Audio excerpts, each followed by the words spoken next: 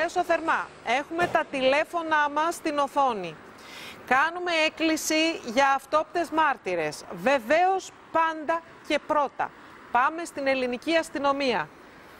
Δεν είμαστε εμείς ε, οι αρμόδιες αρχές πρωτίστως για να καταγράψουμε τις μαρτυρίες σας. Ωστόσο, στο πλαίσιο και της δικής μας δημοσιογραφικής έρευνας, εάν κάτι έχετε δει που μπορεί να βοηθήσει, σας παρακαλούμε θερμά, τηλεφωνήστε στα τηλέφωνά μας. Παρακαλούμε θερμά, δώστε το facebook, παρακαλώ πολύ, το λογαριασμό μας. Τατιάνα Στείλτε Στεφανίδου, μηνύματα. το Έλα, επίσημο Χρυσλά. προφίλ. Ε, σε αυτό μπορεί όποιος έχει δει κάτι, έχει κάποια πληροφορία, να μας στείλει μήνυμα. Το βλέπουμε αμέσως. Είναι εδώ μαζί μας και το βλέπουμε κάθε λεπτό.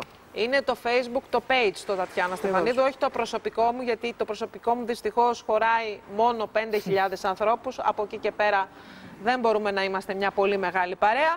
Οπότε περιμένουμε, εάν κάποιος έχει δει κάτι, παρακαλώ θερμά, ή κα... μπορεί να είστε σπίτι και να σας αφηγήθηκε ας πούμε ο γιος σας που γύρναγε από κάποιο ξενύχτη χθες το βράδυ, να σας είπε, ξέρεις μαμά έγινε ένα τροχαίο εκεί, ήμουνα παρόν. Και είδα αυτό. Ξέρεις μαμά είδα εκείνο κάποιος δικός σας μπορεί κάτι να είδε. Ε, επεξεργαστείτε το. Μήπως κάποιος είδε κάτι.